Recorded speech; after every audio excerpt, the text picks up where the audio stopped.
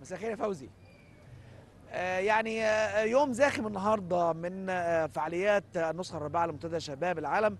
غدا خلاص يسدل الستار على هذه النسخة بكل ما بها من قضايا ومناقشات وكيفية تعاطي آه، مختلف الشباب من مختلف الجنسيات آه، مع القضايا الهامة التي طرحت على أجندة هذا المنتدى.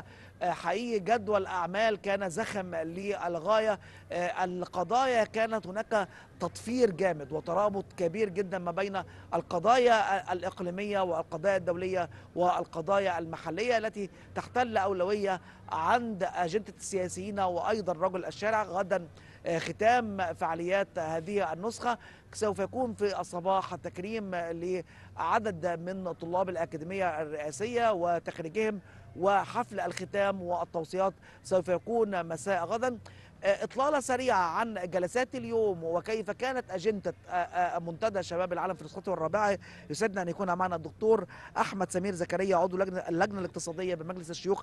أهلا بحضرتك يا دكتور. أهلا وسهلا بيك وكل المشاهدين أهلا بيك. حقيقي النهارده جلسة هامة جدا وكان هناك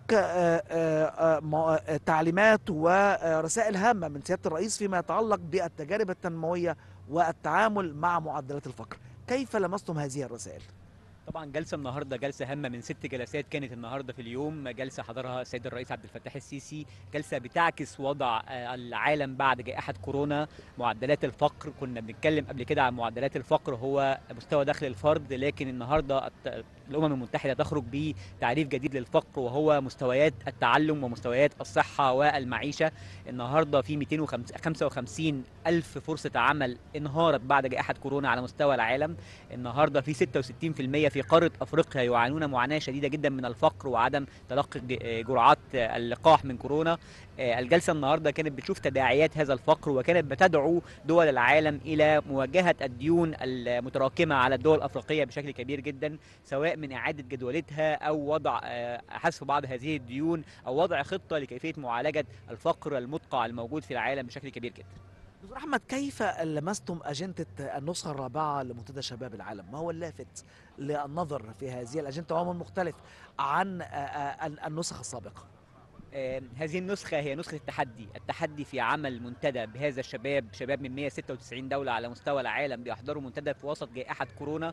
إجراءات احترازية دقيقة جدا ونقل لرؤية مصر لشبابها ونقل لقوة الدولة المصرية وتطورها بشكل كبير جدا. آه، النهاردة آه، الشباب بيس- بيسمع من كل دول العالم بيتعاونوا مع بعض في ورش عمل وفي جلسات وفي نقاشات. حضور السيد رئيس الجمهورية وكافة الوزراء. نقلة كبيرة جدا على مستوى المنتدى في نسخته الرابعة بتورينا النهاردة وضع مصر القوي اللي النهاردة بينقلنا آه، إن كان ننقل رؤية مصر مثلا في مبادرة حياة كريمة ووضعها على مستوى العالم العالم كله كان عنده إبهار بوضع مصر عمل آه، نسخة حياة كريمة بأكثر ما يتعدى من 800 مليون آه، 800 مليار جنيه وهي رقم ضخم جدا. وخلال ثلاث سنوات النسخة دي ما بتتمش على مستوى العالم في أقل من 10 سنوات لكن مصر بتعمل إعجاز كبير جدا في إن هذه النسخة سوف تكون في ثلاث سنوات بس وهتعود بالفايدة على 58% من مواطني الدولة المصرية واهتمام بالمواطن المصري في الريف نقلة كبيرة جدا ونقلة لشكل مصر قدام العالم كله. بعيدا عن المنصب وعن تعتيق وحضورك في جلسات ال- المنتدى ما هو اللافت كشاب مصري؟ إيه إيه إيه اللي شدك النهارده في النسخة الرابعة لمنتدى شباب العالم؟ وإيه اللي أضاف لخبرات الدكتور أحمد؟ طبعا آه، الإضافة كبيرة جدا. كل منتدى بنتعلم منه كتير. كل منتدى بنشوف تجارب كبيرة. بننقل خبراتنا للشباب الأصغر سنا وبنتعلم من الأكبر مننا. المنتدى كمان فيه روح قوية جدا روح تعاونية ما بين دول العالم. عندنا آه، شباب من أوروبا وأفريقيا وآسيا. كل ده بيتعاونوا مع بعض وبينقلوا خبراتهم وخبرات دولهم بشكل كبير جدا. المنتدى النهارده فرصة رائعة لشباب العالم. مفيش حاجة في العالم كلها بتجمع الشباب بهذا الكم.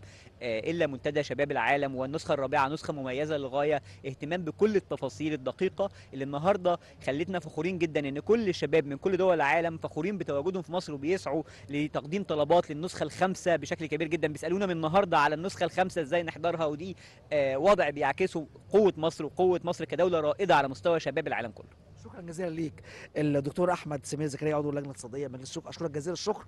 وإن شاء الله في النسخة الخامسة يكون في زخم أكبر وأكبر. وفعلا يعني منتدى شباب العالم من النسخة الأخرى ابتدى يفرض نفسه على الساحة الدولية ويحظى باهتمام كبير من جانب الشباب من مختلف دول العالم. أعود مرة أخرى إليك فوزي لاستكمال فقرات من القاهرة واستديوهاتنا في القاهرة. إليك فوزي.